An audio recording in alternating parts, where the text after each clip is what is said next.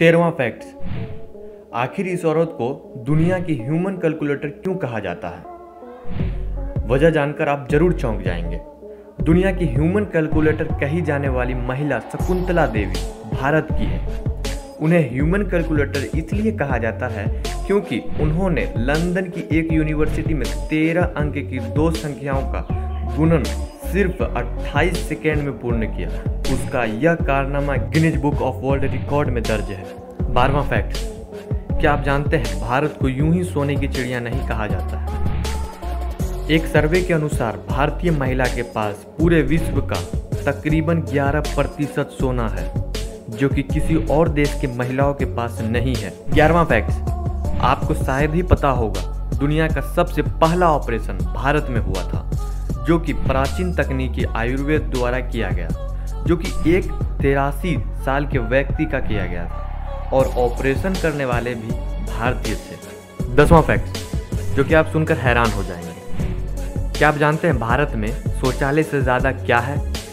चलिए मैं बताता हूँ। भारत में शौचालय से ज़्यादा मोबाइल फ़ोन है। नौवा फैक्ट, क्या आपको पता है दुनिया का सबसे बड़ा वृक्ष के बारे में?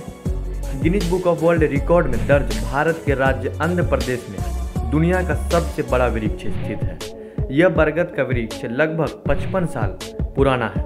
यह पेड़ तकरीबन 2.1 हेक्टेयर में फैला है, यानी इक्कीस हज़ार स्क्वायर मीटर। आठवां फैक्ट, डिस्कवरी चैनल तो सभी का लोकप्रिय है। आपको बता दें, मैन वर्सेस वाइल्ड में दिखाए जाने वाले बियर ग्रिल्स भारतीय फौज में शामिल होना चाहते थे। किंतु यहाँ की नागरिकता ना होने की वजह से उनका यह सपना पूरा ना हो सका।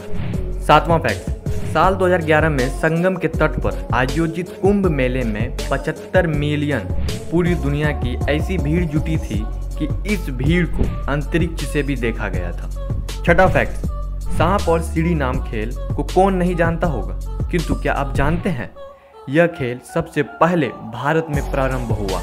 पांचवा फैक्ट भारत में अमेरिका की पूरी आबादी से ज़्यादा लोग इंटरनेट का इस्तेमाल करते हैं। चौथा फैक्ट दुनिया का सबसे बड़ा परिवार भारत में ही रहता है, जिसमें एक इंसान उनतालीस पत्नियाँ और चौरानबे बच्चे रहते हैं। तीसरा फैक्ट, आखिर गो एयरलाइन में महिला को ही क्यों रखा जाता है?